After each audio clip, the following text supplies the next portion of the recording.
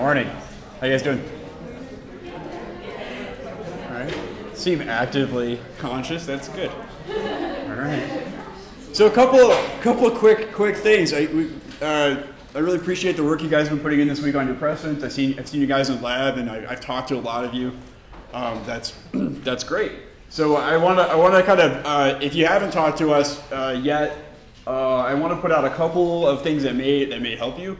Some of these problems, these projects we've given you are there to like provoke you uh, to, to, to learn things that you might, that you might not have, um, that, that you might not have tried yet. There's nothing like giving somebody like a problem to just kind of push you to learn something new. Okay, and so I, there's a, there's a there's a couple things that I can show you that may simplify some of your some of your projects for you, and that, that's what I want to start the day with today. So again, I'm uh, you know gonna have this recording, uh, so don't you don't need to write anything down. But the, the main thing is just again the like pattern that I'm doing.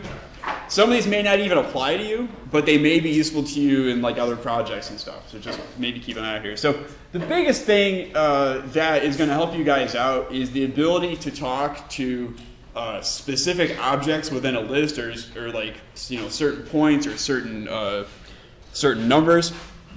And I'll, I'll sort of show you what I mean by that in just a second here.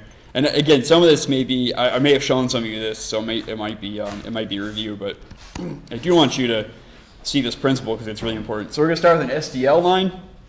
And you guys all know these by now. It's a line that has a start point and a direction and a length. I'm just going to make uh, a big horizontal line uh, for the first for the first get-go. Okay, so I got that, and then I'm going to divide points. Uh, divide curve. So we just get 10 points. All right, fair enough.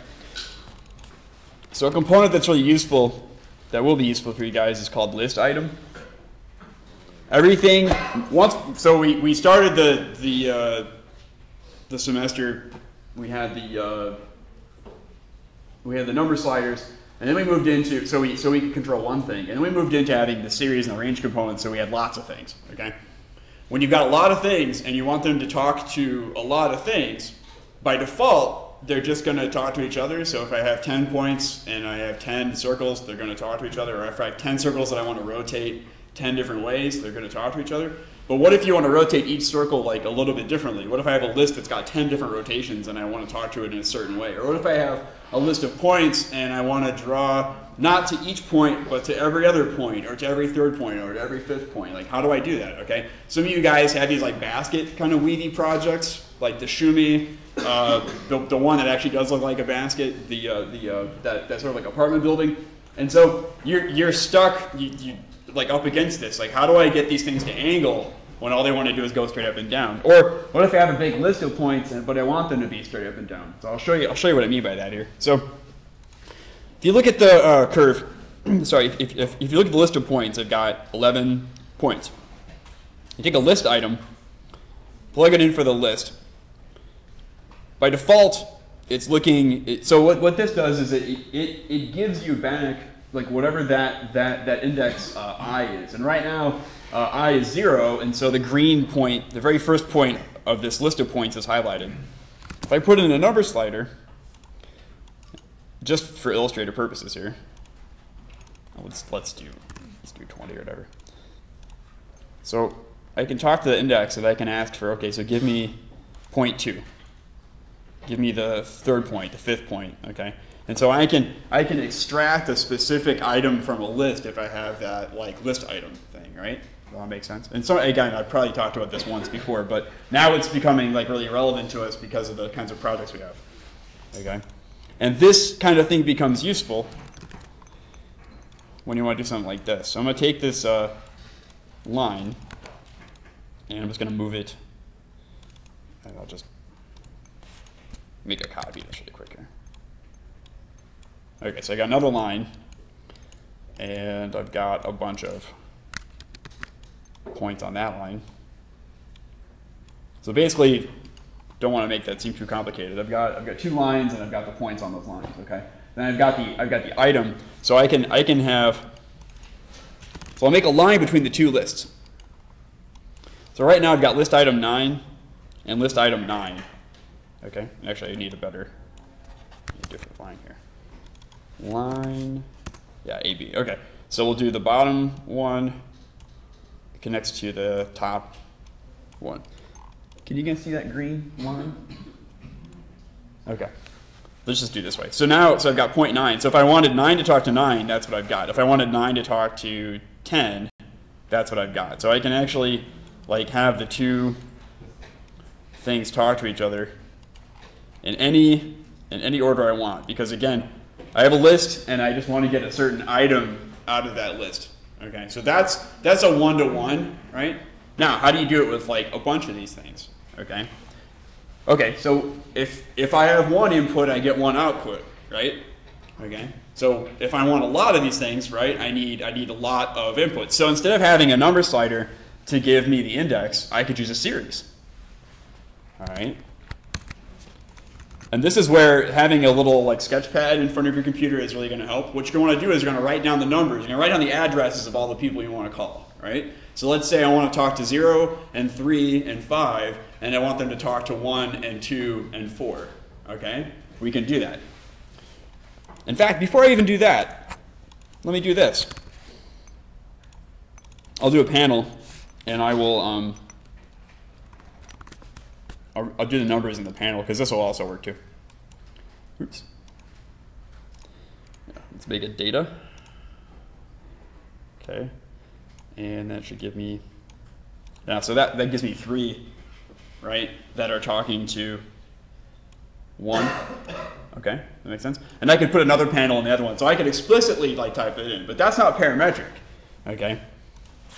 But I want to, I want to prove a point to you. I can do a series and you know series starts starts in a number, has an increment, ends at a number. And so once I when I've got a bunch of sliders in my series, um, that's when this gets really parametric, right? So I can change. Well, here I'm changing the. Uh, ah, that's not what I want to do. Okay, I got the starting number and the ending number and the number of these things. Let's make these all, well, anyway, just, let's do this way. So my, num my starting number is 2. My increment is 2. That gives me 2, 4, 6, 8, 10, 12. And that lets me extract those uh, from, that, from that list there, that list of points there. Okay. Um, let me, um, so I could, if I start with 1, now, oh, the, the, the issue is my, is my data. So I don't want to, I don't want to wrap this. Yeah, there we go. If you, uh, so what, what, what wrapping means is, is that if you like, if you, if you shoot the list, right, if, if you have too many, it's going to go back around again. it's going to try to catch like more, more numbers. So if you're not getting the result you want, one of the things you can try is, is to tell it not to, uh, not to wrap. That's actually my problem with this one here. So. Okay, so let's take a look at this again. I've got too many. I've got too many numbers here. Yeah. So you can see it's actually it's actually letting me letting me change that. Okay, so it's I'm asking for um, two, three, and four. Oops, these are backwards. That's that's my problem. Okay. Yeah. Okay. So I start with two, and an increment at three. So I got two, five, um, and uh, seven, I think. Yeah, two, five, well, two, five, eight, sorry. So 0.2, 0.5, 0.8 are talking to 0.9. Let me just play this a bit here. Okay, so if you wanted to do like a truss or something like that, if you wanted to do some, some kind of a rhythm, you could figure out which points to skip and which points like not to skip, and you could basically give it the instructions. I could also put a series in for this one up here. Uh, so I can't spell series today. Series, all right. And I can do the same thing. And if you get these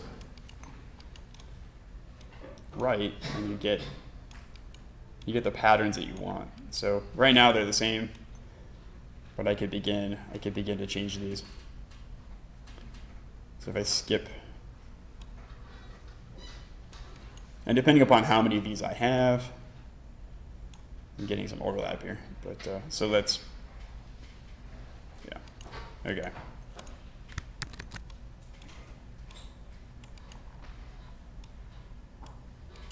So if we get the right, if we get the right count, it's gonna work. Okay. So if you, so what you, what you might want to do is write yourself a recipe. So you go through the numbers and you say, okay, so I want, if I want these things to be angled, I might want point zero to talk to point two, and point two to talk to point four. And basically that would give me the pattern I want. So you basically, you're gonna use the series to find the algorithm that's gonna give you the addresses you want, and you plug one in for the base chord and one in for the top chord, and that's gonna give you that like pattern, okay? If you want these, so so this is going to work, and and uh, I'll, I'll do this, and then I'll show you the next step. So the problem is, is that this works for one row, but a lot of your things are like multiple like rows, right? So how does that work? We'll we'll talk about that. It's the same idea. So let's do. So there you go. Like this this algorithm, you know, here I have zero, and I and I'm so it's zero, two, four, and I probably want, you know, more of these, but yeah, zero, two, four. Um, let's see. These I want though. I want this to be two. So we're going to start with 2. Yeah, okay.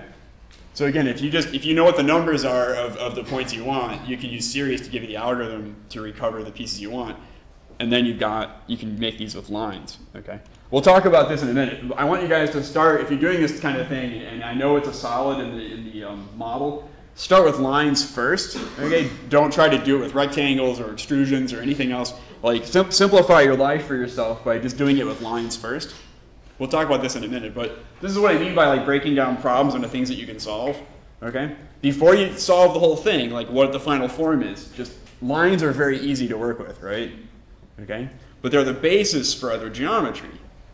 We can pipe them, we can loft them, we can sweep them, okay? But just, just work with lines for now. It's like one less thing to, one less thing to worry about. Okay. Any, any questions on like this part before I get to the, to the whole, you know, to do like a whole series of these things? You guys cool with two of them? Make sense? Okay. Well, that's pretty cool, right? We can. I mean, we haven't used series that way before. Like we're using series to make an algorithm to uh, to actually get these. All right. So let's go back.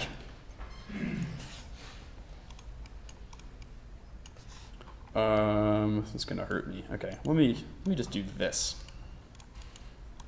and then I will I'll copy these we'll, we'll do this again here. Okay, so I'm going to start again with a line, but I'm going to make a bunch of them now.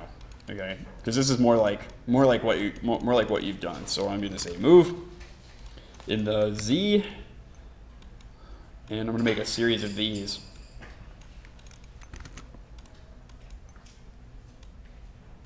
Because right, if I plug in a series for move, it's going to give me like 10 of these things. Okay? Going back to week three again. There, a little bit better. Okay, then I can do divide curve. Oops, not that one.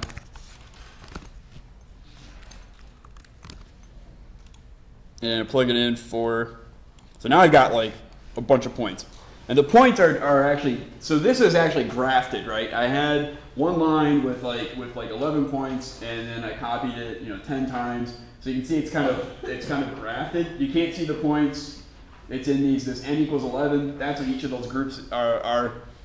Um, in order to talk to these the way that we just did, we're going to flatten these.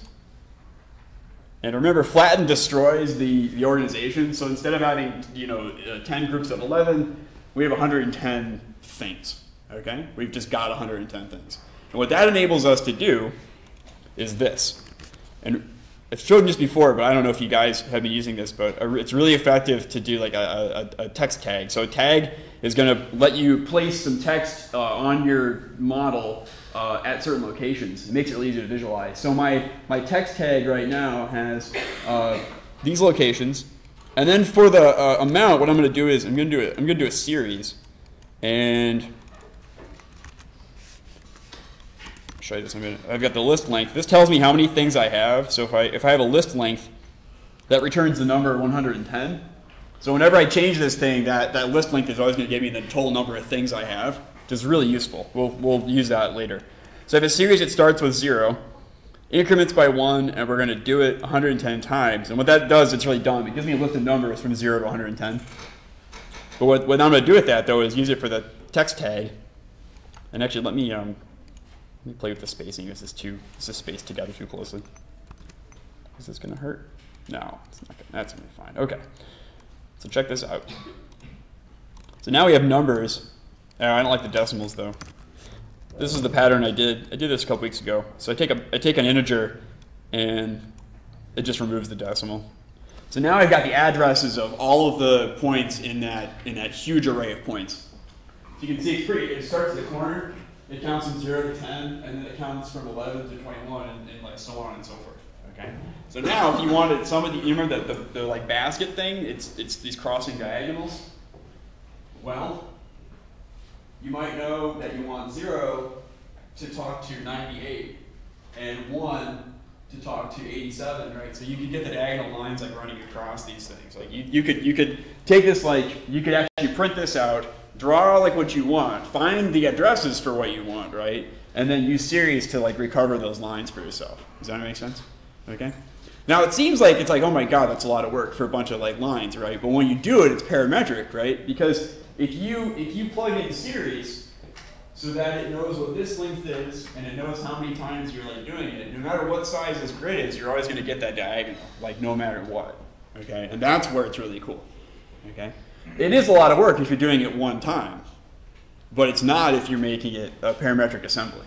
Okay, so let's let's try to do this. So I've got a list of points here that are going to go. I'm actually going to go from zero to nine because 10's not going to talk to like anything. Okay, on the bottom. So I'm going to do a series. That's going to go into a list item. That's going to be plugged into our list of points here. And the series is going to start with 0, and it's going to go to... Now, this is the part that you're going to want to make, you know, eventually you're going to want to make this parametric so that when the thing changes, let's see, where's my... So the n here is going to be the n here. So let's just go ahead and make those a number slider from the get-go. Uh, I'll do this 20. Might as well. And I broke everything because you can't have zero of something. Okay, so let's make this a little bit easier. So I've got a series of numbers. Oh, plugged into the wrong thing. All right, that's something else. Okay, starting at zero, and I want to go to four. Actually, I want to skip one, so I'm going to do an expression. So c minus 1. So now I should have 1 through 4. Oh. oh, maybe I don't need to do that, actually. Good to check. Okay. 0, 1, 2, 3, 4. Good. Okay, if I plug this in, I get 0, 1, 2, 3, 4. Okay, makes sense? Now I want the other, the other series to be this row. So it's going to be, uh, ooh, okay, so it's going to be in this case, it's 35, uh, 29, 23, 17, 11. So what's, what's the first number that I want to start with in the series? If I, if I'm gonna, I, I wanna, I wanna do this. What's my first number in the series? What's my cursor under? 35. Yeah. Because, because I, I, I can count any way I wanted to. So here I've just done 0, 1, 2, 3, 4. Okay? But if I want 0, it wants to talk to 35. So the first one that's going to talk to it is 35.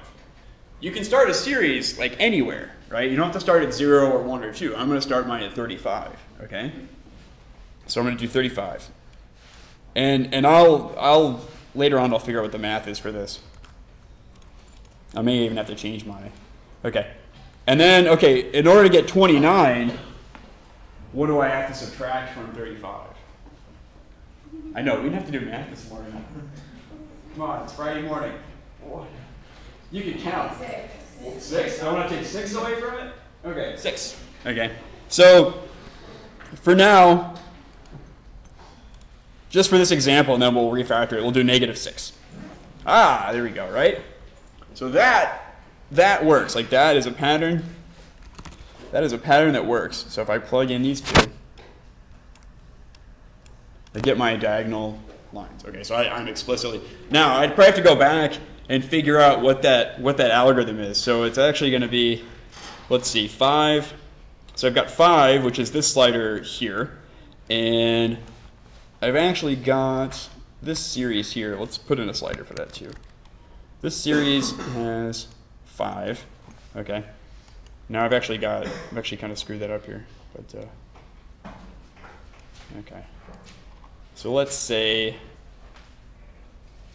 let's see here, five, one, two, three, four, five, six, and it's gonna be, it's, so it's actually, it's, um,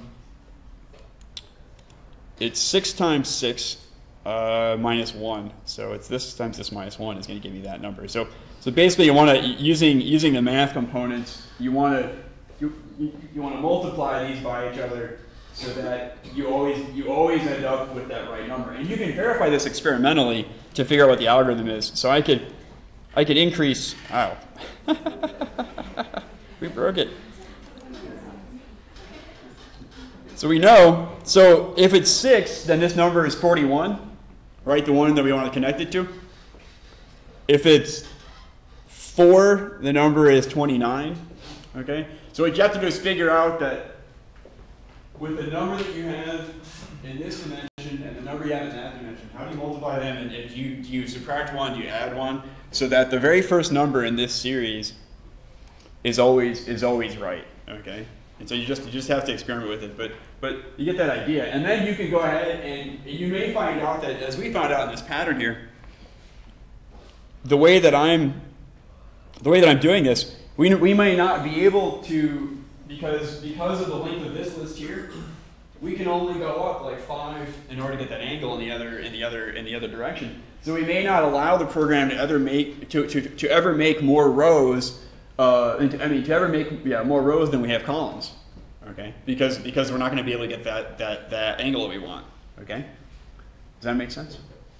So this is, this is kind of the process we take. Like, we don't exactly know. Like, there isn't like, there's a general idea of using the list item to get, uh, to have one thing talk to, to like another thing. But to actually figure out how it works right design is this process of like iteration. Okay, you want to you want to try to find out how to do it like one way that works well, and then start to parameterizing. Okay, and you figure that out by basically changing the parameters and then finding out the conditions so that it always works. Okay, it's a very it's like an iterative process. Nobody just like sits down and just cranks this thing out. Okay, you get something to work, you make sure that it works, and then you add one thing and you make sure that works, and you add one thing and you make sure that works until you get this. Okay, once you've done it this way you can take the structure and you can do it the opposite way. So I can start counting at 5, 4, 3, 2, 1, and I can talk to 6, 12, 18, 24, etc. Right? And as long as you got that algorithm, it's, it's always, it's always going to give you this really nice grid. Okay? And that'll work for any shape because you're, just talking to points. It actually doesn't matter that these are in the xy axis because you're just, you're just looking for the addresses of these points. These could be on circles. These could be on some kind of complex shape. Okay? That's what's really beautiful about this. So for some of you guys who, who had these projects that had these, that had these diagrid kind of things, like like using the uh, the list item is a really useful thing. Using list item is really useful for a lot of reasons. There's a lot of like reasons why we would want to um, to talk parametrically to objects in a certain order, and using a list item and using series is a, is a really good way to do that. Okay, so hopefully it helps a couple of you guys. The other thing that I want to talk to you about, uh, I did talk about I talked about using lines and how uh, that was what I wanted to start you with. But then, how would you actually make that, something like that into a uh, solid? And I'm going to show you that. So if I take, I'm going to do a circle, and I'm not going to give it a number slider. Just going to make a circle. Aha, okay. And I'm going to make a copy of that circle in some direction, z. Okay. And then I'm going to divide, if I can spell divide curve today. Divide curve.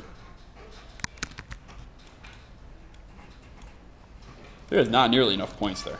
Okay. Let's do 50.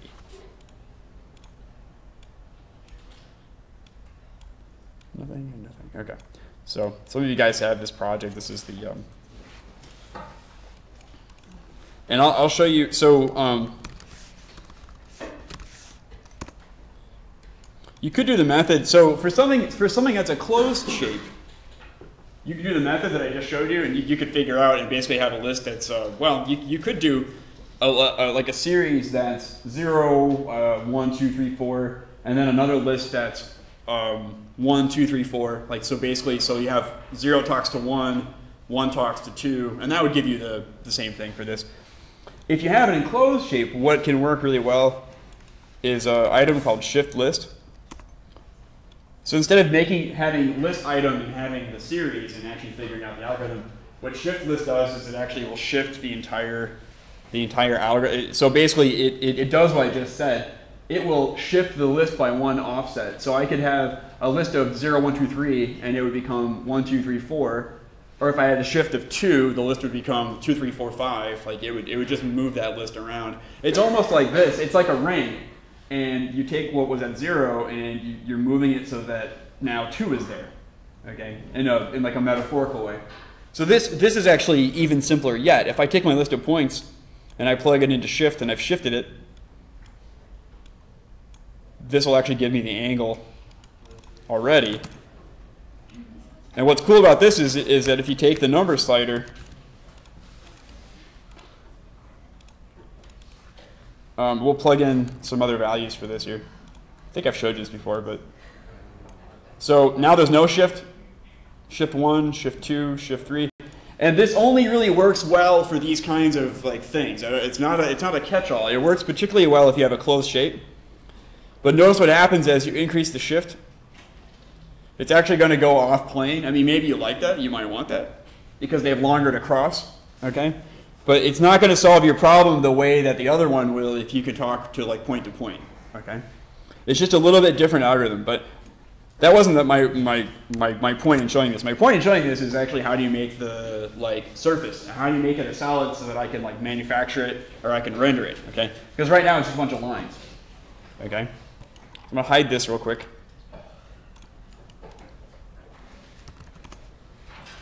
So I think I showed some of you guys this. Definitely my, my second years might know this. There's a command called sweep that exists in Rhino. Oh. Don't disable. Enable. Okay, here we go. So I'm just going to give you a, a, a, Rhino demo before I parameterize it. Sweep is, a, is, is one of the most common ways of making, of taking a line or a series of well, lines and making them surfaces. Okay, we've done it with lofts before. Okay, but a sweep is a little bit different. A sweep takes a cross section and like a spine, and it like ex extrudes it along that that shape. Okay, so if I sweep, so the rail is is what the spine is, and the cross section is is is what's there, and what you get is is that. So you get you get a tube, and you you could cap it, and you're and you're kind of done. This will work for, you know, you can put cross sections on both sides, and you could you could draw any kind of spine you want. It could be three dimensional, it could be a, a sweep. And what this will do is it'll sweep it. It's kind of like those little Play-Doh extruders you have when you're a kid. You put a shape and you and you, and you, and you like draw a line with it. So that's actually what this is. And this is perfectly suited to a lot of the things that we are working on. What's wrong with cap is that it doesn't really make um, nice like square kind of edges. It makes tubes, right? We don't always want tubes for things. Okay. So if you wanted something that had like a square piece uh, or any kind of arbitrary cross section, a sweep is going to really work well for you. The other thing um, that you have to note about sweep is that the cross sectional, the spine has to be in the center of that cross section. Okay. It's like how when if you rotate and you don't have the right position for the rotation, it, it makes weird artifacts. Okay. You've got to place that spine in the center of that of all the cross sections for it to for it to do what you want it to do. Okay, or it's not going to work right. So knowing that, let's get back to this, and I'll, and I'll show you how to apply a parametric uh, sweep. So first of all, what we want is we don't we have our, our spines, which are which are these things. These are our, our like rails that we're going to sweep things on. Okay. What we don't have yet is our cross section. Okay. My cross section is going to be a rectangle. And we go back to our friendly rectangle pattern with the domain. Uh, construct domain because we changed it. And I'm actually going to do, yeah, do something like this. Remember this pattern? We'll do negative b. Oops, I want that. Come on. Expression. Negative b. And this is going to create a parametric uh, square for us. Okay? Okay, so we got that. And then, okay, I can, I can distribute these things. And what I'm actually going to do, I'm actually going to do horizontal planes or frames. So this is what we did um, in the brick example to get the bricks to align to actually curve with it. You could do this without it, but they're not gonna they're not gonna curve with a circle. So you want to do horizontal frames. You could because I could just plug in um, these points for these rectangles, but you notice that they're not they're not angling. Okay, we don't want that. So instead, I'm gonna I'm gonna make um, a series of horizontal frames on the circle. So actually, I'm actually gonna go back to our circle, and I'm gonna make the same number of frames as points, and that's gonna set that up. Okay, so I don't use the points for anything. I'm actually just it just happens to work out because it's the same curve. It's divided into the same number, and then I'm gonna use those frames to position my rectangles. And frames generates a lot of visual garbage, so I'm going to hide it. See, check that out. Now those are aligned properly. All right? Okay. And then I've got all these lines here, I've got all these frames, so sweet. Let's see if this works. So rail, section, and miter. I don't need to worry about that. So the rails are these guys, and the sections are these guys. Oh, and it doesn't like us. Sweep could not be created. All right. So we have an issue with all these. Okay.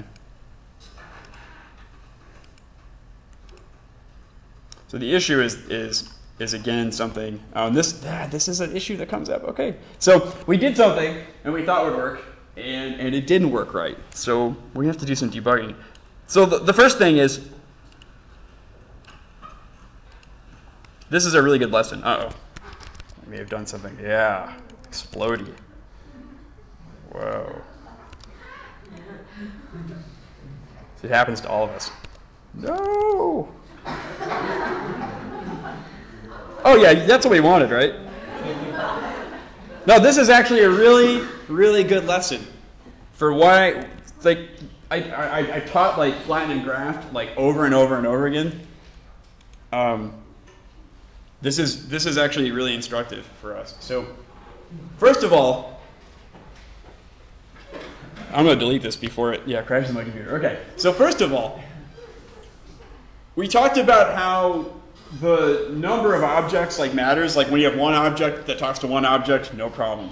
One thing that talks to many things, they're all going to get changed the same way. Many things that talk to many things, you have many things that, that change a bit. One of the other things that's really important, and this builds on what we just talked about in the first thing, is the is is the like data structure itself.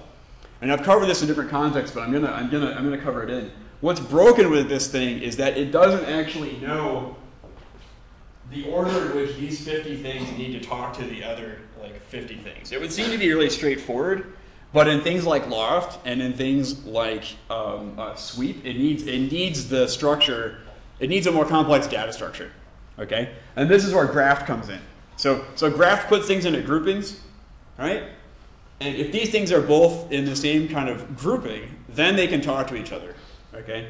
And that's why I had to graft both of those in order to get this output to be to be right. Okay? So just, just know that when you're dealing with these with these commands that have multiple inputs like that, that that sometimes grafting both groups before you put them together is going to get you the, the kind of the kind of connection you want. And it's just because it doesn't have the right structure.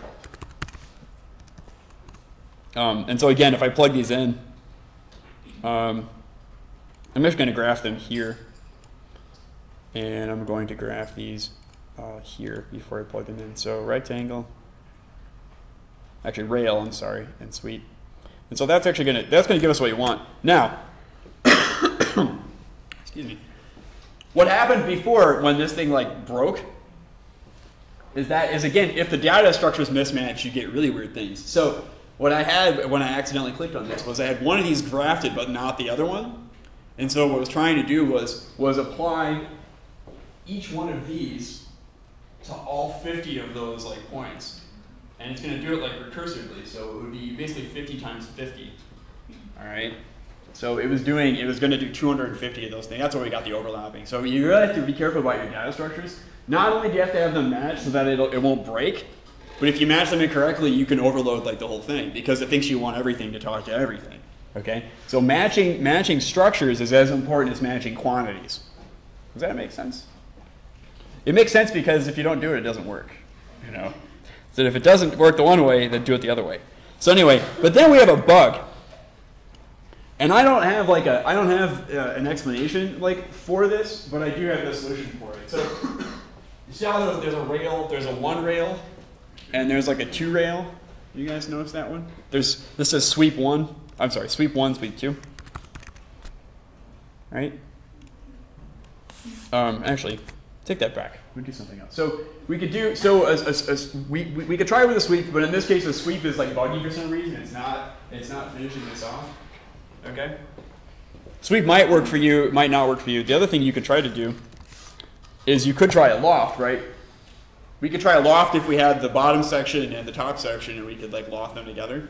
Okay. Sometimes things are just buggy and they don't like work for any explanation, so we have to work around it. So the way I want to work around it might be to do it uh, with a loft. My problem is, is I don't have those sections on the other piece. So I'm basically going to copy this and plug in the top chord. And that'll give me those pieces. So now I've got bottom ones and top ones. Okay. Okay, so now loft is probably so I can plug in so plug in this group and now see it doesn't it doesn't like that. Actually, let's do it without it first. You guys have probably had this problem before. Okay, so I plugged that in and loft is happy. Seems to be. It didn't throw me an error, right? But what happened down here? What it did was it lofted from, from each one of these things in, in, in like order. Okay, that's what I wanted to do right away. So a lot of you guys have this problem where you'll see something, and I'll actually show you an example in a second here, but it's like taffy being stretched all through your thing. That's because there's no structure to it, right? It, it thinks you want these things to be to be uh, lofted in order. What we want is for loft zero to talk to loft zero, loft one to talk to loft one, right? Through the whole thing. That's where grafting comes in, okay? And if I graft this, it breaks it. And it should because now there's no companion to it. Like there's you can't have a loft with one cross section. It's not going to loft to anything, right? But then if I shift click this and plug it in, they do finish the loft because the structure is right. I'll show you. But it doesn't do along the rail anymore? In this case, it's not just because they happen to be aligned like that way. The, the, the rail is sort of like superfluous.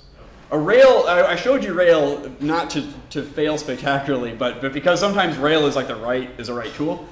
In this particular example, there is something about this configuration that it doesn't complete that, that rail, and so you need to do a, a loft. Okay, but the and and I wanted to show you these also because um, the um, the principle of data structures applies to well applies to everything, but it applies to the to, to loft and to uh, sweep. So you can see. So you can see the data structures are the same. See how it's 000, 001, like that little that little sort of that little sort of thing that has it in like brackets. That means it's in a little grafted group. 000, 001. So they're they're like similarly structured, and so it knows that these this zero talks to that zero, that one talks to that one. Okay, does that make sense? So so grafting is not it's not like magic. It's formatting it so that it knows what to talk to properly. Okay? If you don't do it, this is gonna this is gonna crash. So yeah. It's not gonna it's not gonna like you. You know it's not gonna work or it's it's going to give you incorrect geometry. So in this case, especially something like loft that you just plug everything into, you need to think about the structure of what you of what you plug into it. Um, okay, any questions on like what I just showed you? That's probably relevant to a couple of you guys, right? Hard part comes when you do it like multiple stacks, but I'll leave that I'll leave that to you. So so data structures is really important. I'll show you I'll show you one more example and then and then I'll show you some some other stuff here. Um, okay, we'll do another line SQL because it's our bread and butter.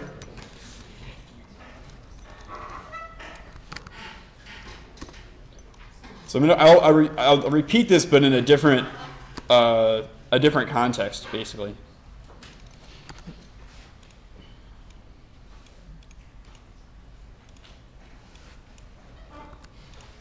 Okay, so I've got, I've got a line here and I'm going to move it twice. oh,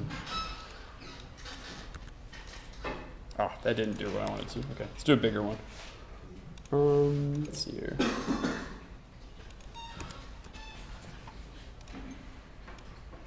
Okay. This one, and we'll do this again. So this is a variation of the column.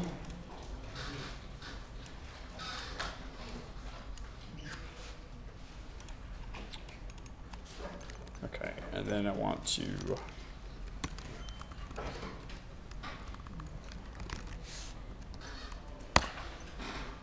Oh.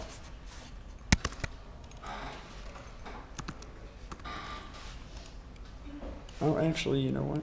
Okay, I'm not gonna like this. Okay. We'll do this a little bit differently. So what I'm what I'm gonna do is we're gonna do a series of louvers. A couple of you guys said these louvered things, and I wanna I wanna demonstrate how lofting works uh, in this in this kind of uh, activity. So this is gonna this is gonna apply to a couple of you guys. So I'm making a couple rows of lines right now that I'm going to use to, to position the the louver pieces. Um, let's see here. Lost my own way. Okay. I was gonna do it with points, but I'll do I'll do it with a subdivided line instead. Make it easier. Okay. So I've got this chord, and we'll do this one.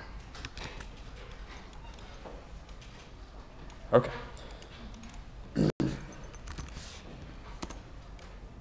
So I've got these, and I can and I can divide these up.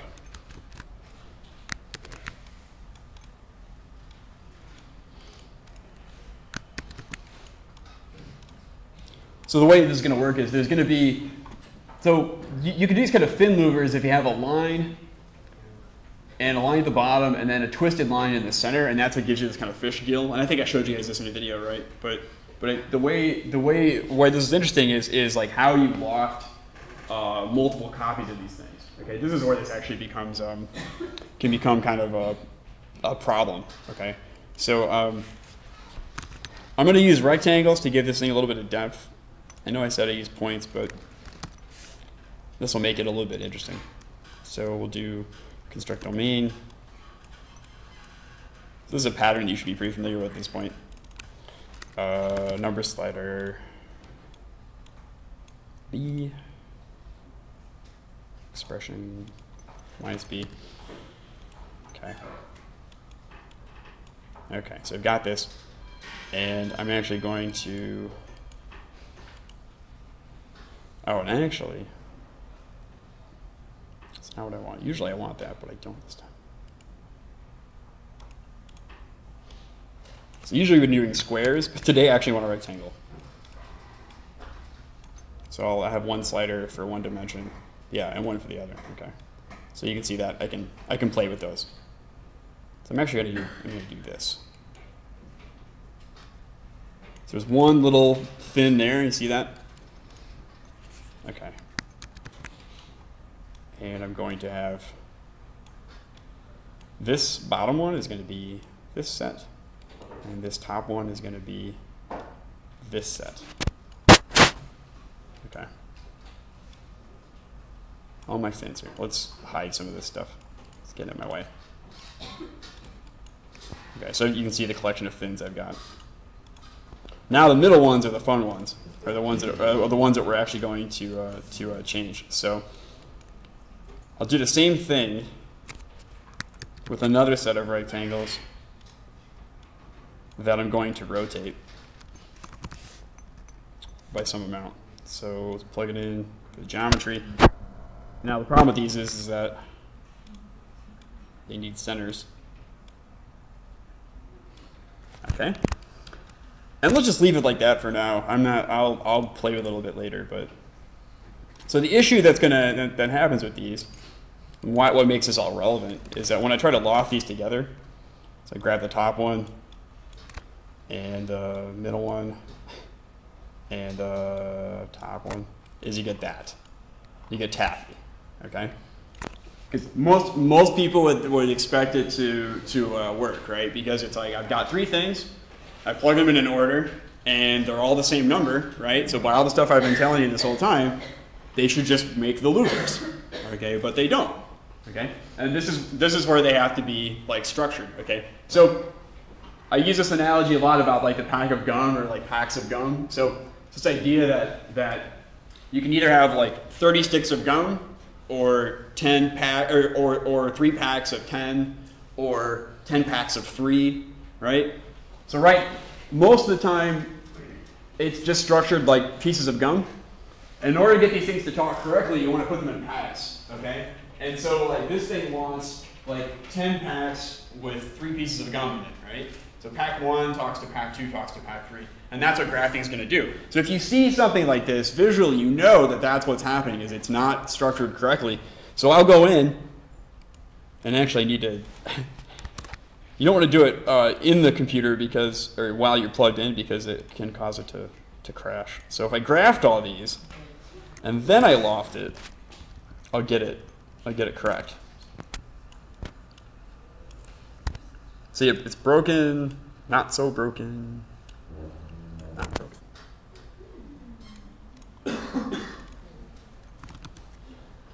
I'll give you guys a bonus here, and I think I may be repeating myself, but so if I throw a range in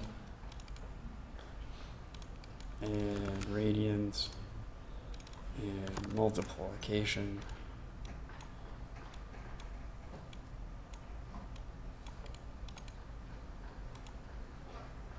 Mm, oh. Bezier, smart. Okay. So that's all the same rotation, but if I give them different rotations, it gets gets cooler. It's parametric.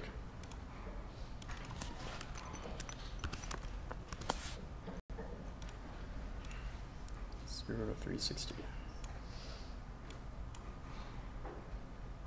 Yeah.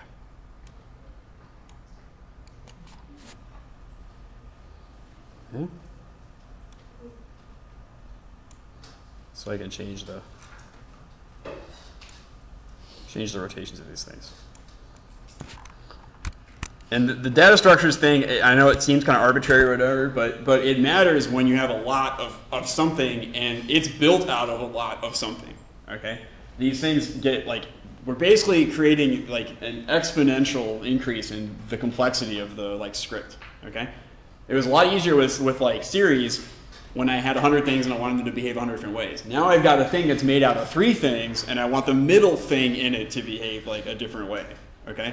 And so that's where having the knowing like when to apply the data structure and when, when not to becomes important. And that's what I did with you when I gave you these projects. Almost everybody has to encounter that when they are dealing with their precedent project.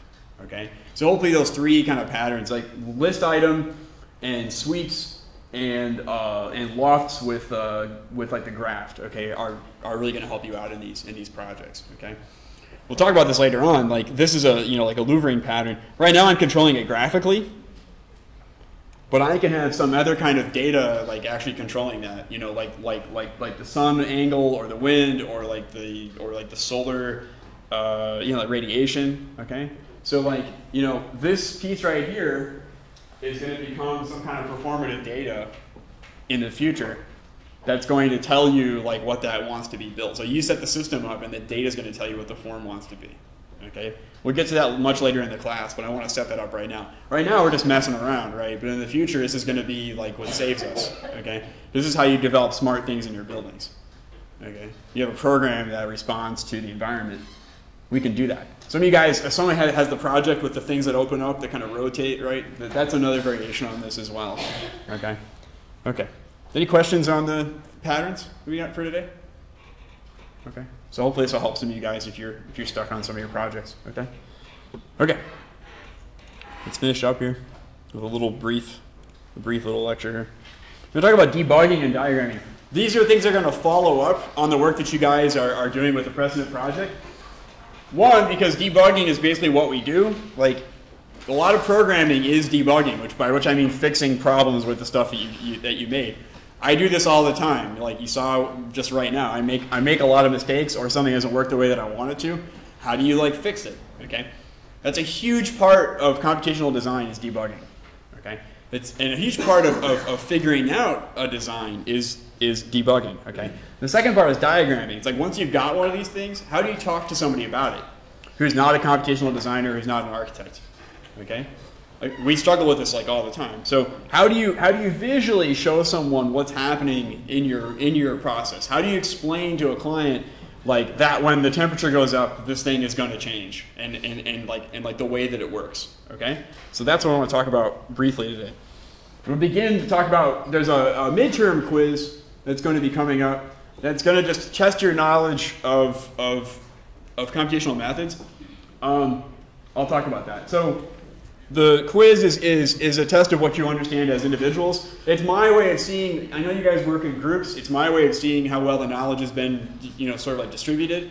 Are you working together with your partner to solve it, or is, or is your partner solving like all of the, all the problems? And it's not to get you or your partner in trouble, it's really for me to understand like how well we're understanding the concepts and the material. Because at the end of the day, the concepts are all that are really important about this class. It's not really important to understand grafting, but it is important to understand the notion of like data structure, that, that, that information has structure, okay? And it's important for you to know what an independent variable is. And it's important for you to know like what parametric design is. Okay, so those are the kinds of things going to be testing on the, the midterm quiz. It's not, don't worry about it, it's not like high stress. More than anything, it's just a chance for you to review what you know and for me to review what you know. All right? Takes place the week of 9:30, so it's two weeks from from now. It's not it's not like immediately. It'll be in your lab. All four sections have a different like quiz, so there's no reason you can't cheat or anything on it. Um, they're all going to be different. It's multiple choice short answer, so it's not like I'm going to expect you to make a script or like write a script in class. It's not that kind of pressure. A lot of it's just like vocabulary and concepts and some IDs. Like I might show you something and and you might have to tell me like what it does or or or what the, you don't need to write all this down. We post these online. You can. I mean, if you'd like to, it'll keep you awake. Um, but um, again, it, it, and I'm going to tell you exactly. I'm going to tell you exactly what's on it. Um, so hopefully, it'll help you help you figure that out. It's individual. There's no groups on the quiz that make it a little bit harder. You can use notes. You can use Grasshopper in the lab. It's fine with me. Like You'll always have access to computers like in your life anyway. Like there's no reason why you can't access them. If you think it'll help you, by all means. Um, you know, no cheating, obviously, etc. What I'm going to be talking about on week to week. Remember, what are the topics for each week? What are the things that you did in your lab reports? What are the things that I like talked about? That's what the quiz is about. Variables and relationships. So I might ask you, like, um, you know, what happens when this value changes to that variable?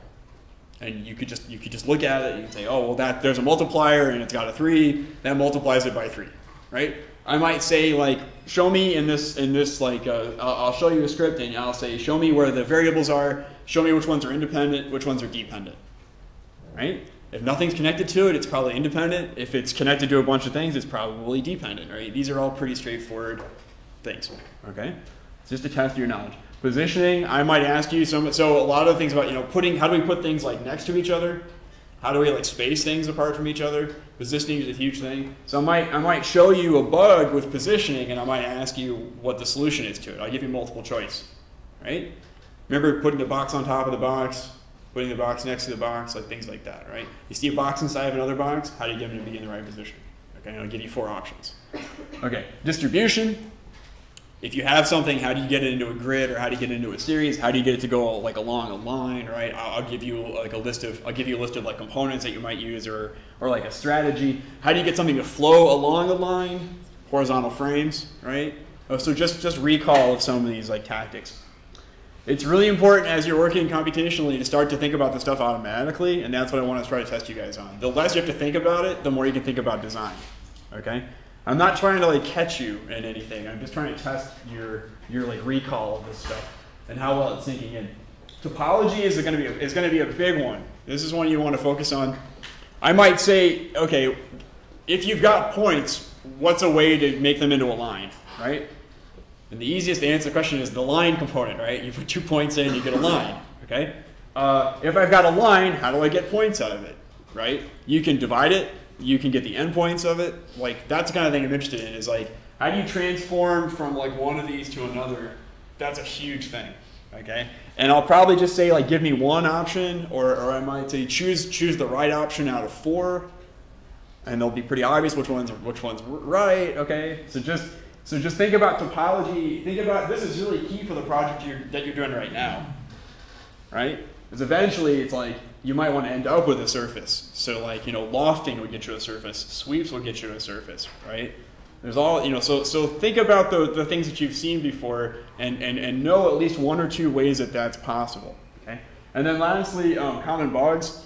So just if your thing is taffy, like I just showed you, right? Like what kind of bug is that? It's a it's a data structure bug. How do you solve it? You you make the data structures like match. Okay. So stuff that like has happened to you in lab, because I made it happen, are going to be the kind of bugs I'm going to test you on. Because that's the kind of knowledge I want you to have. Is like immediately when you see that something's not lining up right, then you know that that's that's a mismatch in the data structure or a mismatch in the amount, and you just know what the answer is. Okay. You shouldn't you shouldn't have to struggle with it. None of this stuff is a trick. None of this stuff is new. It's just recall and like review of the stuff we've been doing before. Okay. Um, and if you guys, yeah. So anyway, so that's just basically what's going to cover. If you look down the topics week to week, you look at the lab reports, like that's what's going to be. Okay. All right. So we talk about debugging a little bit here. One of the things, and you can, we'll just kind of go through this really quickly. You, you can review these slides later, as I know we're I know we're getting close to time here, but. Debugging. A bug is an error or problem that causes a crash or, or otherwise unexpected behavior. So it's something that you like don't intend to happen. And these, this happens like all the damn time, right? Even with a, when stuff is supposed to work like correctly, there are some things in Grasshopper that just inexplicably like don't work right. Debugging is a practice of finding and resolving software bugs. So debugging is removing, removing bugs. Why is studying debugging important? 75 to uh, 50 to 75 percent of programming is is debugging. This is true for novices as well as professional programmers. In fact, it's actually more true with professional programmers. They don't have to think about design as much as you do, but there's still errors in logic in the things that they make that they have to iron out. And so, if you master debugging, you've mastered like three quarters of the problem of computational design. Because I guarantee you, especially the first or second time you try to make something work, it's not going to work right the first time. In fact, if it works right the first time, it's actually worse than if it doesn't work because then it's actually almost scary if it works right because then you don't know if there really is a problem with it or if you're just that good. Most of the time, it's just there's a problem with it. Okay. So my code works. My code doesn't work. Programming is hard. Okay. Okay. So uh, uh, the best thing in, in, in, in, to avoid, you know, to, to avoid debugging is to avoid making bugs in the first place. Okay. The second thing is to learn techniques for locating and, and solving bugs. So there are like strategies that I'm going to talk about really, really briefly here that you can try like when you get stuck, as opposed to just trying to trying everything until it works. Okay. And then lastly, you want to learn from the bugs that you make. So you want to know that something happens or something that I did like caused a problem, and then you don't do it yourself. Okay. And this is really a, a good key of learning about computational design. The best way to limit debugging is to avoid making bugs in the first place. So how do you do that? Have a plan, like good design prevents bugs. This is why I asked you guys to sketch stuff out first, because it helps you like avoid any kind of logical errors. If you wanted to do, you know, the thing with the um, with the diagonal lines, you know, actually writing down what those coordinates are, you know, if it's 0, 2, 4, 6, 8, you know, doing that, doing that rather than thinking that you're going to remember it in your head is a good way to avoid having a problem in the first place. Okay, so planning and design are really are really useful. Know what you're going to do and, and have an idea of how. That's why we have navigators because a navigator keeps the plan and has a plan. So you're not just plugging stuff in again. So this is structurally built into the class to help you guys avoid uh, making bugs. Okay, having a partner is a great way. Slow down, don't procrastinate. I guarantee you if you try to do something at the last minute, it will cause bugs because you're not able to think about it like you, are not able to follow a plan. You're making more mistakes, and it's just going to tangle your stuff up, and it's not going to work. The most important thing, though, and we'll talk about this. This is based on the kind of process I've been talking about for design. for designing anything is not to design the whole thing at once or to try to implement the entire plan at once, but just to do one small thing and to make sure it works and test it before you move on. Okay? Even if it's like something just like dumb. I mean, it's like it's like make sure that it draws a line, you know, right before you try like lofting it. Make sure that it actually draws the line you want. That way, you don't have to go back and figure out where the like where the error was, because you know because it's the last thing you did that's broken, right? So don't don't do two or three things at once. Just do one thing at a time. Okay. Um, keeping your script organized and variables labeled is, is another thing, and you can do this as you go, or you can just afterwards. But especially if you come back to it later, you may not even know like what's going on in your own program if it's, if it's not organized. Using panels to leave yourself notes is a really great idea. Like put yourself a little post-it note or your partner this is what I was trying to do and it didn't work right. We'll come back to it later. Or this part of the script is the part that like lofts all this stuff together, right? So you put that little piece in there. If you have to stop working, you, you can use a panel to remind you. This is a really great idea, especially if you're up really late at night or you got a lot of things going on. You don't want to spend 15 minutes figuring out what you're doing in the first place. So drop a little panel in before you save it, give it to your partner or whatever. It's a really good idea. Professional programmers like do this stuff all the time. Okay, the bigger the program, the more important this stuff is and your programs are going to get pretty big. Finding and fixing bugs. Some, some bugs are easy because they will crash the script and they'll throw you a little error. They'll give you a little red flag, and you just find out what that error is and fix it. Others will do things that you don't expect. The worst thing in the world is when you, you, you think something's supposed to happen and nothing happens. You have no clue. Like what's it's like it's like you lit a fuse uh, on a piece of dynamite and it was supposed to blow up and it's not it's not blowing up. So, you know, you have to really cautiously approach that. You know, you don't know where the problem is. Okay? So, um, you know, these are, these are worse. Which is why panels are really great because a panel will at least show you something, right? If there's nothing in the panel, that's, that's interesting. When there's supposed to be points or there's supposed to be numbers, why isn't there anything in the panel? Okay? If there's nothing on the screen in terms of geometry, it might be because you didn't turn on preview or something. Like it might be like a benign kind of bug. Okay? So finding fixing bugs. If a script is broken, work backwards. If you have an error message, start with the error message, right? Look at the big red thing, work backwards. That's the first thing. Check to make sure you satisfy the inputs. Sometimes you plugged in the wrong thing into the wrong thing. Sometimes the input, like the worst one is in series. You can't have a series that has zero numbers in it. You won't get anything. You can't scale something by zero because it doesn't do anything. So that's a bug, right? That's an easy bug. You didn't put more than one curve into a loft, there's your problem, okay? So look at the inputs and trace your way back to find the mismatched data.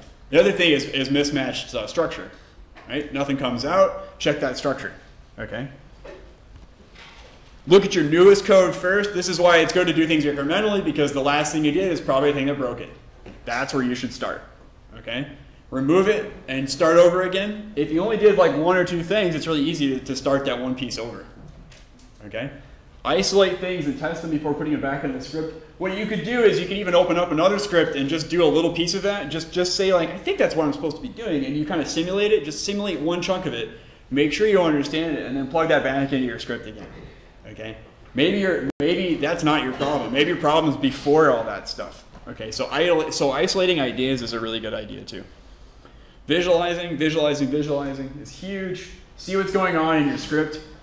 The numbers tell the story, not the geometry, like not the stuff that comes out of the program. Okay? You don't get good stuff if your numbers aren't right.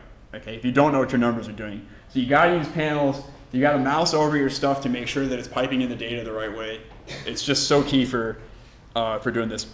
Check the inputs, uh, and then you know, type, amount, and structure. So is it expecting geometry and you gave it numbers? Right? Is it expecting points and you gave it lines? Like, did you just make a mistake? Did you slip up? Did you try to match 1 to 50 or 50 to 50? Is it, is it grafted when it should be you know, flattened or flattened when it should be grafted? Okay. A really, really useful thing to do is to talk to somebody about your script and, and try to explain the problem to somebody else. Sometimes you get, well, all the time, you're so deep in your own head, like trying to do these things, that you think you're doing totally right and you understand it, but you've convinced yourself over the last 45 minutes, you know, into some crazy theory. One of the things that, that, that programmers uh, have done is this thing called talk to the bear.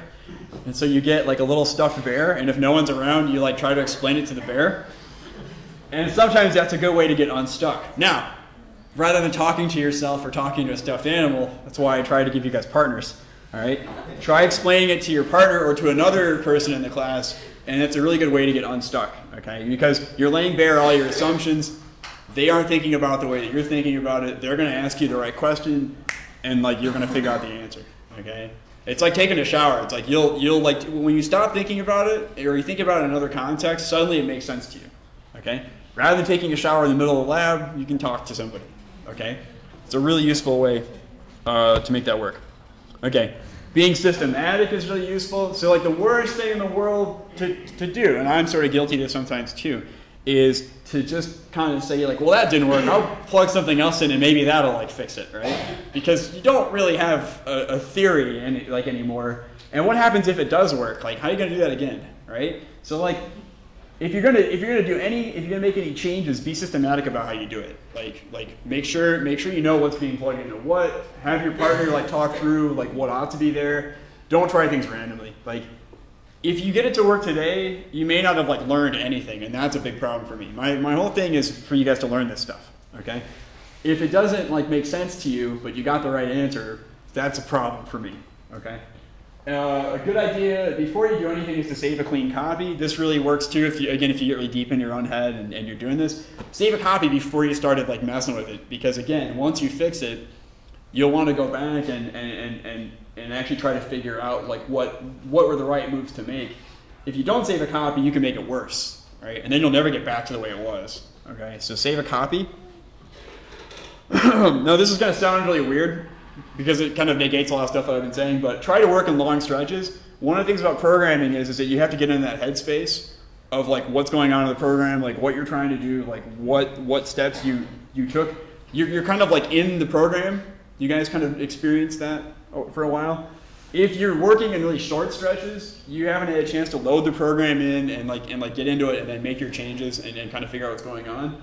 Um, it does it just doesn't work as well as if you can sit down and look at it for an hour or like two hours. Okay, it's like you have to load the program in your own brain before you can actually like work on it in the computer, and it takes a little while. And if you break your concentration, you break your focus, you almost got to start all over again. So try to schedule like a decent amount of time, especially when you're starting on a project, you know, for the, the, the for the for the first time. Um, and then once you've done that, it's you get to a good stage, walk away for a while. This is where like coming up with solutions to things kind of strikes you. Uh, I did just this morning. I was thinking about these patterns, and, and I and I actually had like a, I was like, oh, I, I, could actually do it like this way instead. And I had to be not sitting in front of the computer. I had to have had it loaded in my head, but then I was like walking to school and I had an idea about how to do it. Okay, that probably happens to you guys like some of the time, right? Oh yeah, I could do that. So walking away from it is a good idea. Okay, learn from previous bugs when you see a bug and you see it crop up often enough, I hope you're just learning from it. You're making notes about it. You know, when, when I show you something and I tell you that it's a bug, you should make notes about. You're doing that. Learning from your mistakes is like the biggest is the biggest thing. Um, input selection of patterns. So like so like knowing you know that you're using a pattern correctly, making sure that you're doing things in the right order are, are, are really common bugs. And data matching, as we talked about today, is a really common bug. Okay. Okay, diagramming. So we're going to talk about this really quickly. So this is what I'm going to, we're going to be doing. Uh, so on Monday, Wednesday, I'm going to come in with you guys and JP and I are going to help diagnose your problems. If you guys have already got your precedent like figured out, we're to like, we're to help you optimize it and push it in another direction. If you still have stuff, we're going to help you figure it out this week. Okay, everyone's going to have all their stuff figured out like this week.